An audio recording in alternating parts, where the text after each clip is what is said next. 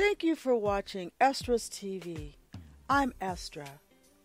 Too many people have been silenced by harassment and intimidation after being in a car accident. These efforts, in my opinion, are an attempt to keep the benefits needed by people injured in traffic collisions. Harassment and intimidation of the injured typically goes beyond overt or covert surveillance.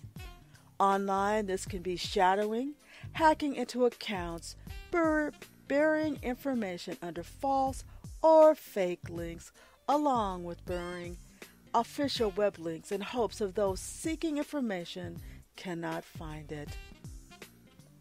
From my perspective, bullying tactics are used to force individuals to give up auto insurance claims, employer benefits, Social Security disability claims, or long term disability benefits. Unscrupulous behavior, money, and power of those with influences in some cases force people injured in car accidents to accept the delays, denials, or elimination of benefits in conjunction with increased recovery time due to harassment stress. Most people injured in car accidents rely on the hopes of them getting through the process and overcoming obstacles. But is this a good idea?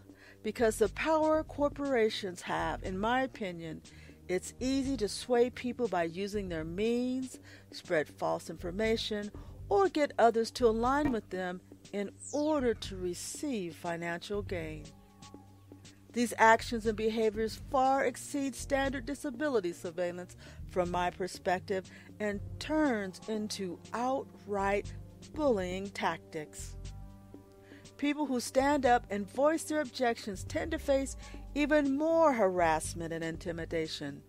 Law enforcement typically works with these corporations and do not have or do not provide any legal assistance to those being harassed because they are on the payroll of these corporations as a private investigator or of other means.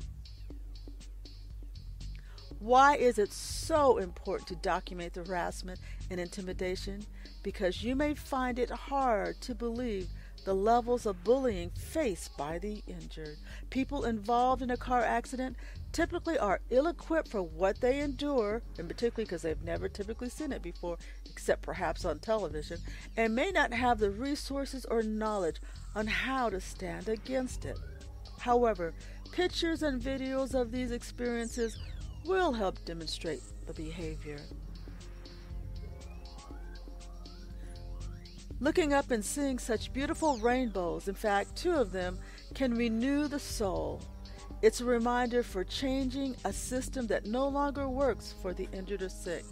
People learning about what happens to protect investors' bottom lines, while disabled live in or near the poverty levels because their benefits are significantly reduced or eliminated. Did you hear that?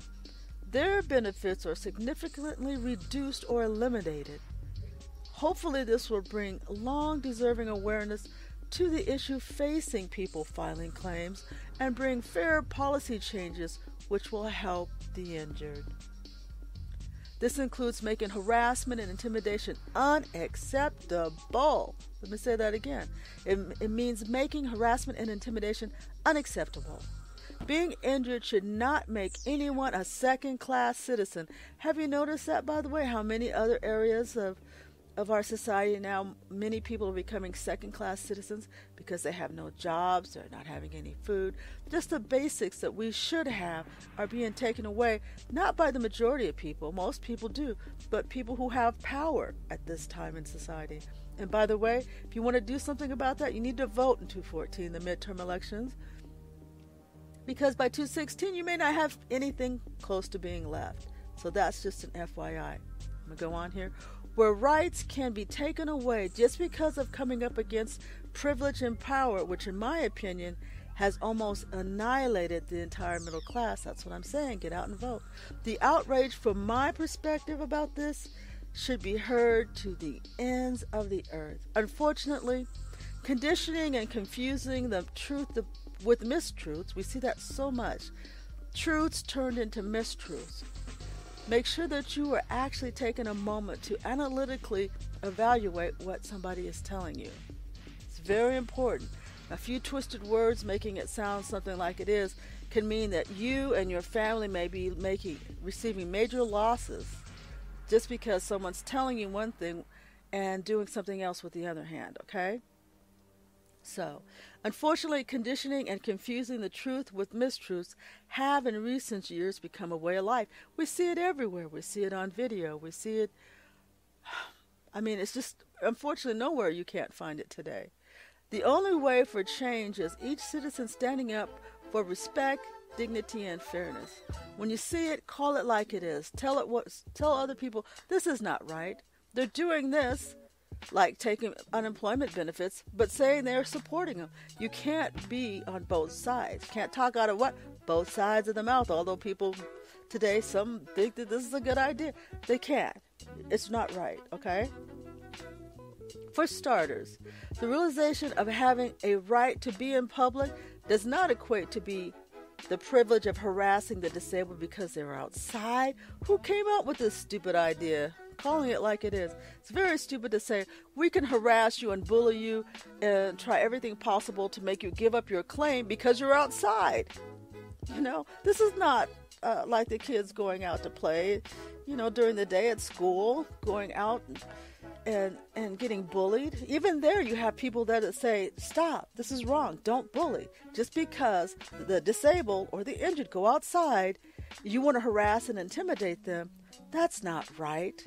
That's no rocket science there. It's very obvious. People go outside to do their activities. Surveillance means observing somebody, not interfering with their day, not bullying them, not try to uh, make them terrorized by your actions, all those things. This is wrong. Don't tolerate it and speak out on it. So, if they thought that this is something that harassment and intimidation was okay. Do you can you imagine some of the things they would be trying to do? For example, they would take disabled electric chairs when at the store, so the people who couldn't walk or made it difficult uh, couldn't really shop the way that they want. Most people, if they're using the cart, they're using it because they need to have an endurance to get through that process. Also, taking close par- uh, parking spaces for people having problems to walk. You think that's not harassment? Absolutely. Is that surveillance? Not in my opinion. Okay. What about them standing in front of you, looking in your face for 1 to 15 minutes in hopes of staring you down or ignoring you or bullying you, saying, We're there? Go someplace else. We don't want you there. We want to get on with our lives. Don't bother us. Go find something else to do. You know? What about every time you open the front door? They're there. What are they there for? Why are they passing around around in front of you for day in and day out? First of all, this tells you something. Who has the money and the resources to, to do this day in and day out? Not the average person. Now, if they went ahead and paid the average person the unemployment benefits, stop cutting their SNAP benefits, and doing things that help people lift themselves up, that's what they really should be doing with the money. But don't let me get off key or off uh, the subject because I could really go off on a few things on this because, from my experience, it's just not right what they do. Okay. First of all, when you go to the bathroom in public, that should be a private thing. Do they have? Why should they have to, the right to go to the bathroom with you? Come on, get out the bathroom. Jeez Louise, you go out to eat. You you want to have you want to go into a restaurant. You want to just uh, relax a little bit. They're sitting right in the in the booth next to you. They may not have even uh, gone to this restaurant before you. I mean, they're following you into places they don't normally go. Uh, and certainly not, they don't do everything at the same time you do. I mean, it's just constant. You're getting on the freeway. You know, most people who've been in car accidents, usually driving is not, you know, necessarily one of the easiest things for them to do. So they're jumping on the entrance and exit freeway ramps, cutting in front, moving to the side, and God forbid they have a car accident too, which they're notorious for having, from my opinion, because they can. I, I, guess they don't have any of the repercussions when they have accidents because, in my opinion, they, I see them have way too many, which you'll actually see in the video here. So, this is something wrong with this picture. Attempts of doing these things underground will not prevent harassment and intimidation from coming to the surface. Obviously, this is where this video comes from.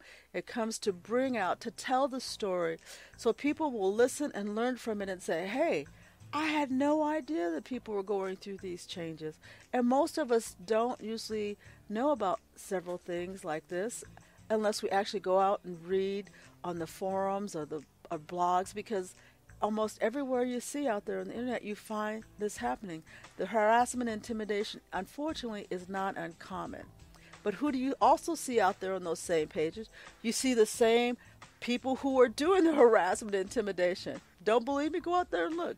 Look up complaints for insurance or uh, uh for uh, complaints uh, for people who've been in auto insurance accidents or file a claim, or it, it, could be an auto insurance company, it could be for employer benefits, it could be Social Security disability, it could be a long term disability company. So it's just uh, it's out there in full force. All we have to do is take a moment to look at it and say, we wouldn't want this to be us. We don't want this to happen with us. We need to change this. In fact, let's change the local laws and have ERISA reform, and we should make it a high priority. It really is time to end this abuse. Stand today and say, it's got to stop. It's got to stop one person at a time. This can be changed. Remember, they are making their investors wealthy off of your premiums, your work, and other contributions. As a group, standing together can work for real and lasting change, a change that brings fair treatment with respect and dignity, and receive the benefits the injured deserve. Are you being harassed and intimidated? Speak out today. Share your story, make comments, and join in support of helping people injured in traffic collisions. Any of us are only one accident away from harassment and intimidation. Let's get it stopped. Their goal may be to overwhelm you emotionally or physically, yet, by controlling your own state of mind, you are standing up against harassment and intimidation tactics. Hold on and document their actions. You count, you matter, and harassment and intimidation because of being injured should not be a part of it. Don't you agree?